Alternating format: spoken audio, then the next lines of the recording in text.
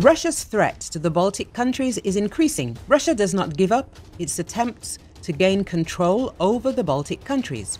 Yahoo News has obtained confidential strategy documents drawn up by the Kremlin that reveal Russia's ambitious plans to exert its influence in the Baltic states of Estonia, Latvia, and Lithuania. Formerly annexed states of the Soviet Union, all three are now proud NATO and EU members with governments fiercely critical of Russia's foreign policy. Among other things, the documents show Moscow's intention to thwart the construction of NATO military bases, weaken the local democratic governments, expand Russian cultural and linguistic influence, and bolster pro Kremlin political organizations. But in a running theme throughout the documents, which were drafted in 2021, Russia's subsequent invasion of Ukraine has undermined almost every aspect of the plans. Estonia, our allies and partners, have long been aware of Russia's interest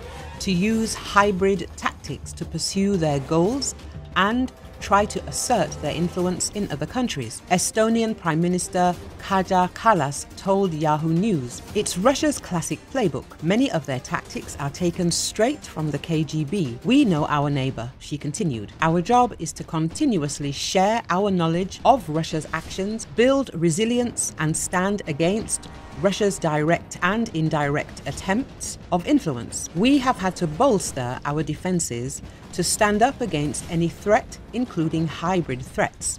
And it's also crucial to discuss these matters publicly. Ingrida Šimonytė, the Lithuanian Prime Minister, similarly told Yahoo News after reading the Russian plan for her country that it was all something you would usually suspect. Latvia has been facing Russia's desire to strengthen and expand its influence in neighboring countries since the restoration of independence, said Krišjānis Kariņš, the Latvian Prime Minister. Latvia maintains a realistic view of Russia's foreign policy and its initiatives. Latvia actively advocates for and promotes Russia's isolation. The documents were drafted by the Russian Presidential Administration's Directorate for Cross-Border Cooperation, which formulated similar plans previously revealed by Yahoo News for the creeping annexation of Belarus and the Western toppling of Moldova's pro-Western government.